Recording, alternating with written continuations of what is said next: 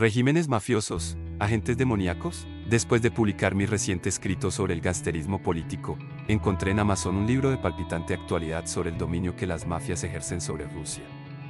Su título es Putin's Mafia State, A Story of Corruption, Control, and the Failure of Democracy in Asia. Su autor, Leonid Nevslin, vida http siglo 2 barra barra 3 com barra ip barra b0 de 3 f1k1 qk barra red signo igualdad guionos guion doy guion bajo 0 cerrar paréntesis. No duden en descargarlo inmediatamente a través de Kindle y abordar cuanto antes su lectura, que ofrece un panorama desolador del régimen que domina en tan significativo país, del que depende hoy no solo la paz mundial, sino el futuro mismo de la humanidad. Los datos del libro fueron aportados por personas residentes en Rusia que no pueden dar a conocer sus identidades porque temen justificadamente por sus vidas.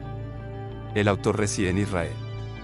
Hubo renunciar a la ciudadanía rusa debido a su oposición a Putin, Vidnevslin, Leonid Borisevich, Virtualibrary.org. La descripción de un régimen mafioso como el que impera en Rusia y otras latitudes muy cercanas a nuestro país es desolador.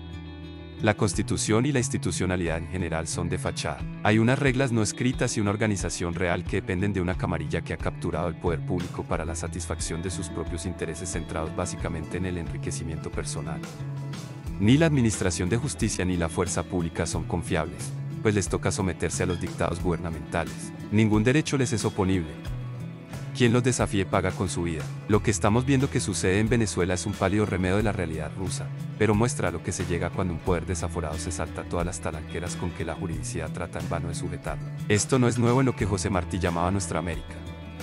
Hace relativamente poco se reeditó entre nosotros el libro de Germán Arciniegas titulado Entre la libertad y el miedo, que describe cómo las dictaduras del entorno que nos rodea competían en cinismo y brutalidad, tal como hoy se sufre en Venezuela, en Nicaragua y ha quedado como herencia de más de medio siglo de castrismo en Cuba. Un libro muy interesante, aunque algo discutible en lo que toca con algunas de sus hipótesis, enseña que a Fidel Castro ya desde su época de estudiante universitario se lo consideraba en Cuba como un gángster, lo cual no era extraño en el enrarecido escenario político de la actual isla prisión. Su autor, Servando González, lo acusa de haber participado en el asesinato de Jorge Eliezer Gaitán, hecho luctuoso que nos ha acarreado males 50, BID 99, la CIA, Fidel Castro, el Bogotazo y el nuevo orden mundial Andy Chávez, academia.edu, el Bogotazo.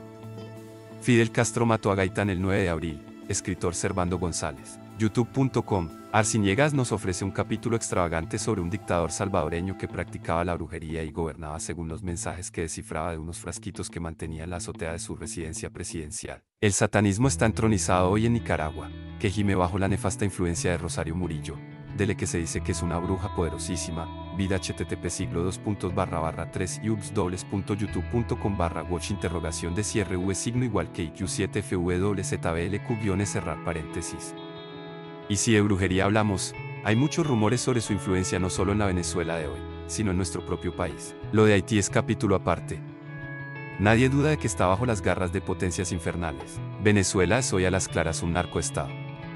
Colombia no lo es todavía, pero va camino de serlo bajo el mando de seres oscuros como el que para nuestro infortunio nos desgobierna y su secuaz en la vicepresidencia. Como creo firmemente en Dios, pero también en la existencia y el poder del maligno. No dudo del control que ejerce sobre los regímenes mafiosos a los que hago referencia. Pese a los escépticos y descreídos, considero que estamos hoy en el escenario de una batalla cósmica entre las fuerzas del bien y las potencias infernales que luchan por la sujeción e incluso la destrucción de la humanidad. Lo dijo San Pablo VI, a través de alguna grieta el humo de Satanás ha entrado en el templo de Dios, vid stat veritas. Pablo VI, a través de alguna grieta ha entrado, el humo de Satanás en el templo de Dios estatveritasblog.blogspot.com. Si hasta allá alcanzan sus tentáculos, ¿qué decir de los gobiernos?